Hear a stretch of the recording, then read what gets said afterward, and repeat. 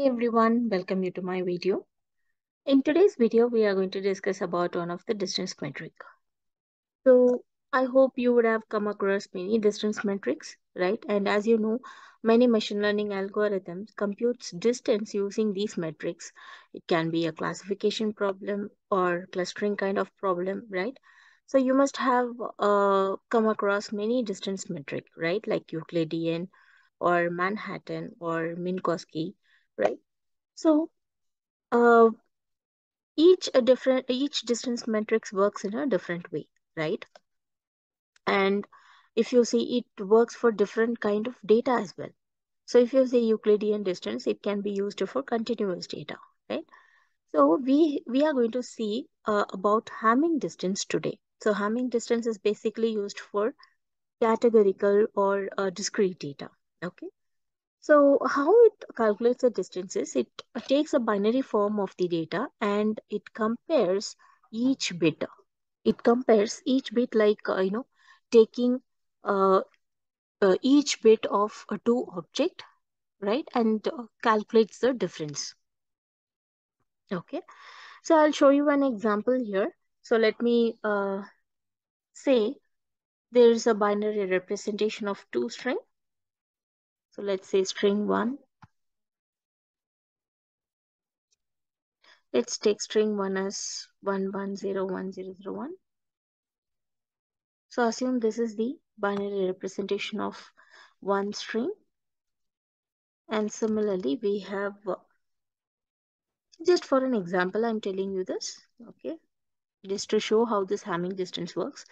So here we have binary representation of two set of string, okay. Now, uh, the Hamming distance for this would be, so it compares bit by bit.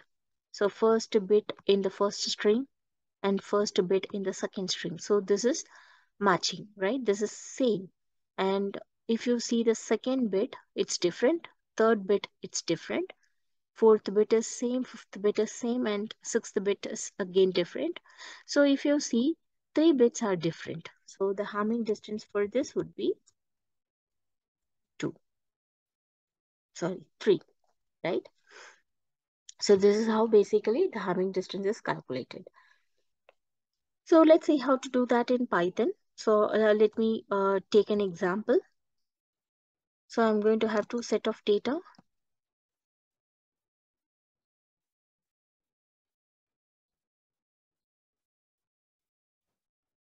Okay, so here I have two set of data.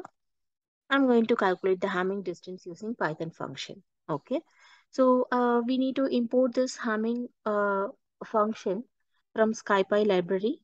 So let's import that. So in SciPy library, we have spatial module. So in that we have distance submodule. So from here we need to import Hamming. And now let's call this function and let's pass the data which we wanted to compare or to take the distance, right? So if you simply call this Hamming function, this will give you the percentage of difference. You can even observe manually here. If you see first, the total elements are four, right? And uh, first two elements are similar. The second two elements are different right uh, sorry first uh, yes first two elements are uh, same right? And if you see the next two elements are different. So 50 percentage of difference you can find here right? So when you call uh, when you call this function you can see the percentage of difference between two objects right?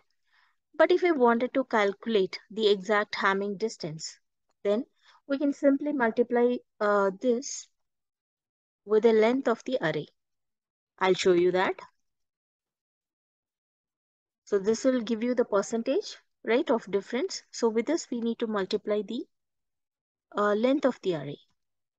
So using length function, uh, I mean, a length of the uh, one set of data, right? So x, let's take.